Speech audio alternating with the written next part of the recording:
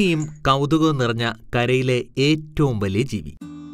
പ്രൊബോസിഡി എന്ന സസ്തനി കുടുംബത്തിൽ ഇന്ന് വംശനാശം നേരിടാതെ ഭൂമിയിൽ കഴിയുന്ന ഏക ജീവി. പലപ്പോഴും വിശേഷണങ്ങളുടെ അവസാന വാക്കാണ് ആന. ആനയോളം ബുദ്ധി ആനച്ചന്തം എന്നൊക്കെ കേട്ടിട്ടില്ലേ? ആനച്ചന്തം എന്നാൽ മുഴുവനായുള്ള ആകാരഭംഗിയാണ്. നിറം ഒരു ഘടകമാണ്. കൊമ്പുകൾ നല്ല എടുപ്പുള്ളതാകണം. വീതിയുള്ള ചെവി മുഴുപ്പുള്ള മസ്തകം നഖങ്ങൾ എല്ലാം തുമ്പിക്കൈ നിലത്ത് രണ്ട് ചുറ്റൽ ചുറ്റാൻ പാകത്തിൽ നീളമുള്ളതാകണം.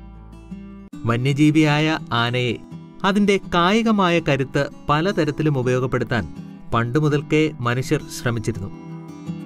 ഇക്കാലമത്രയും ക്രൂരമായ പലവിധ പീഡനങ്ങളും സഹിക്കേണ്ടി വന്നിരുന്ന കരയിലെ ഏറ്റവും വലിയ സസ്തനി ഇപ്പോൾ വംശനാശ ഭീഷണി നേരിടുകയാണ്. ലോകത്ത് ഏറ്റവും വേഗത്തിൽ വംശനാശം സംഭവിച്ചുകൊണ്ടിരിക്കുന്ന ജീവികളുടെ പട്ടികയിൽ പെട്ടുപോയ ഹതഭാഗ്യ ജീവിയാണ് ഏഷ്യനാരൻ. ഭംഗിയും കൗതുകവും നിറഞ്ഞ കരയിലെ ഏറ്റവും വലിയ ജീവിയുടെ വിശേഷങ്ങളാണ് ഇന്ന് ഫൈക്കസ് മീഡിയയിൽ ഇന്ത്യയിൽ അയ്യായിരത്തി അഞ്ഞൂറ് വർഷങ്ങൾക്ക് മുമ്പ് തന്നെ കാട്ടാനകളെ പിടിച്ചു മെരുക്കി നാട്ടാനകളാക്കിയിരുന്നു. ആയിരക്കണക്കിന് വർഷങ്ങൾക്ക് മുൻപേ യുദ്ധരംഗത്തും ആനകളെത്തി. ബി സി മൂന്നാം നൂറ്റാണ്ടിൽ റോമക്കാർക്കെതിരെ യുദ്ധം ചെയ്ത കാർത്തേജിലെ ഹാനിബാളിന്റെ ആനപ്പട തന്നെ ഉദാഹരണം. ആനയുടെ മുൻകാലുകളെ നടയെന്നും പിൻകാലുകളെ അമരമെന്നുമാണ് അറിയപ്പെടുക. ഒരു വശത്തെ കാലുകൾ ഒരേ സമയം മുന്നോട്ട് വെച്ച് നടക്കാനുള്ള പ്രത്യേകത മറ്റ് ജീവികളിൽ നിന്നും ഇവയെ വ്യത്യസ്തമാക്കുന്നു. ഇൻഫ്രാസോണിക് ശബ്ദം ഉപയോഗിച്ചാണ് ആശയവിനിമയം. മനുഷ്യർക്ക് കേൾക്കാൻ കഴിയാത്ത ശബ്ദതരംഗങ്ങൾ വരെ ഇവർക്ക് കേൾക്കാൻ കഴിയും. കാഴ്ചശക്തി അത്ര പോരെങ്കിലും ശ്രവണശക്തിയും ഘ്രാണശക്തിയും അപാരം തന്നെ.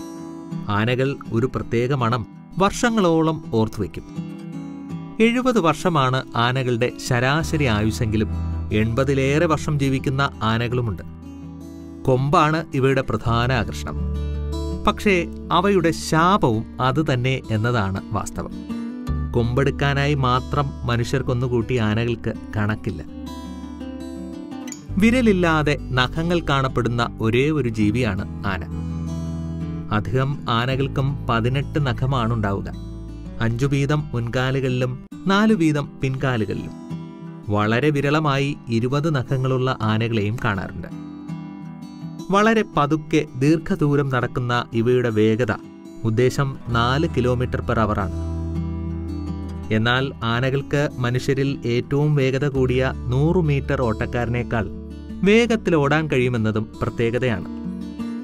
ശുചിത്വത്തിന് വളരെ പ്രാധാന്യം കൽപ്പിക്കുന്നവരാണ് ആനകൾ.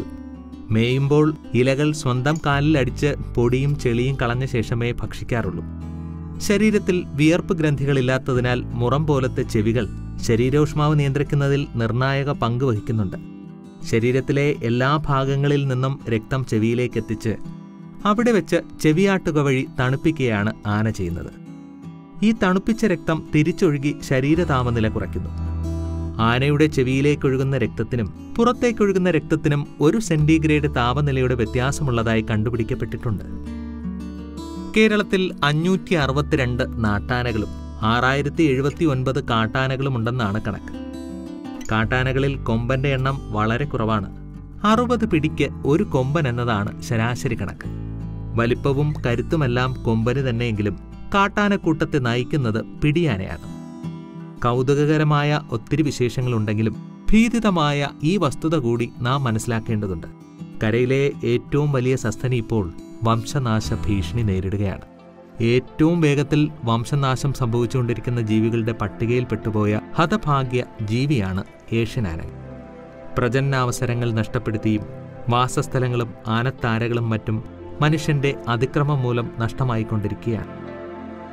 മറ്റൊരു വസ്തുത മനുഷ്യ സംസർഗം തീരെ ഇഷ്ടമില്ലാത്ത സാധാരണഗതിയിൽ മനുഷ്യരെപ്പോലെ പറ്റമായി ജീവിക്കുന്ന സാമൂഹിക ജീവികളാണ് ആനകൾ.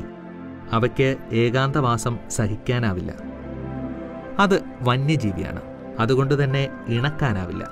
മെരുക്കാനേ കഴിയും. അനങ്ങാൻ പറ്റാത്ത കൂട്ടിൽ ദിവസങ്ങളോളം ഇട്ട് മർദ്ദിച്ചും പട്ടിണിക്കിട്ടും മുറിപ്പെടുത്തിയും പൊള്ളിച്ചും ശബ്ദവും തീയും കാട്ടി ഭയപ്പെടുത്തിയും അതിന്റെ ഇച്ഛാശക്തി ഇല്ലാതാക്കുന്ന പ്രക്രിയയാണ് മെരുക്കൽ. യഥാർത്ഥത്തിൽ മെരുക്കലിലൂടെ അടിമത്തം ശീലിക്കുകയാണ് ആ പാവം. കാട്ടിൽ സഞ്ചരിച്ച് ഇലകൾ തണ്ടുകൾ മരത്തൊലികൾ പാറയിലെ ഉപ്പുകൾ തുടങ്ങി നൂറ്റി ഇരുപതോളം വൈവിധ്യമാർന്ന ഭക്ഷണം കഴിക്കുന്ന ജന്തുവാണ് ആന. തെങ്ങോലയും പനമ്പട്ടയും അതിന്റെ ആമാശയത്തിനും കുടലിനും താങ്ങാവുന്നതിലും അപ്പുറം കടുത്ത നാരുകളുള്ള അസ്വാഭാവിക ഭക്ഷണമാണ്. ഇമ്മാതിരി ഭക്ഷണം കുടലിൽ തടയുമ്പോൾ ഉണ്ടാകാറുള്ള അസുഖമാണ് എരണ്ടകെട്ട് അഥവാ ഇംപാക്ഷൻ. ഒട്ടുമിക്ക നാട്ടാനകൾക്കും എരണ്ടകെട്ട് സ്വാഭാവികമാണ്. ആനയുടെ പ്രജനനവുമായി ബന്ധപ്പെട്ട സ്വാഭാവിക പ്രക്രിയ മാത്രമാണ് മതപ്പാട്. അല്ലാതെ അവയ്ക്ക് ഭ്രാന്തിളകുന്നതല്ല. മതപ്പാടുള്ള ആനകളുടെ പുരുഷ ഹോർമോൺ അറുപത് മടങ്ങ് വരെ വർദ്ധിക്കുകയും അത് നിരന്തരം വെള്ളം കുടിക്കുകയും ചെയ്യും. ഈ സമയം അതിനെ കുടിവെള്ളം കൊടുക്കാതെ പൂട്ടിയിടുന്ന അടവിനെയാണ് വാട്ടൽ എന്ന് വിളിക്കുന്നത്. വാട്ടലിലൂടെ ആന തളർന്നു പോവുക മാത്രമല്ല അതിന്റെ ആന്തരിക അവയവങ്ങൾക്ക് കേടുപാടുകൂടി സംഭവിക്കുകയാണ്. മനുഷ്യ സംസർഗം മൂലം രോഗങ്ങളും സാധാരണമാണ് ഇവയ്ക്ക്.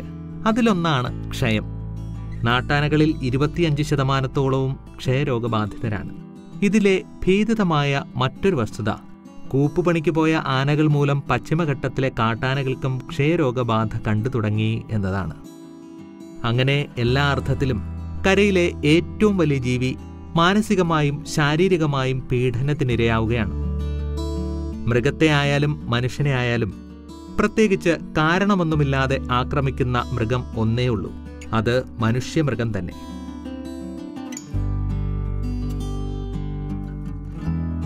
ആന നാട്ടാന ആയിക്കൊള്ളട്ടെ കാട്ടാന ആയിക്കൊള്ളട്ടെ. കരയിലെ ഏറ്റവും വലിയ മൃഗമാണെന്ന തിരിച്ചറിവ് നമുക്കുണ്ടായാലേ അവയോടുള്ള സമീപനത്തിലും പെരുമാറ്റത്തിലും വ്യത്യസ്തത പുലർത്തുവാൻ കഴിയുകയുള്ളൂ. വന്യജീവി സംരക്ഷണമെന്നാൽ അതിനെ തളച്ചിടുകയല്ല. സ്വാഭാവികമായ ആവാസ വ്യവസ്ഥ ഒരുക്കുകയാണ് വേണ്ടത്. വംശനാശ ഭീഷണി നേരിടുന്ന ഒരു ജീവിവർഗം എന്ന നിലയ്ക്ക് ഞങ്ങളുടെ ഈ ഒരു ദൃശ്യാവിഷ്കാരത്തിന് സവിശേഷ പ്രാധാന്യമുണ്ട് എന്ന ബോധ്യത്തിൽ ഫൈക്കസ് മീഡിയ.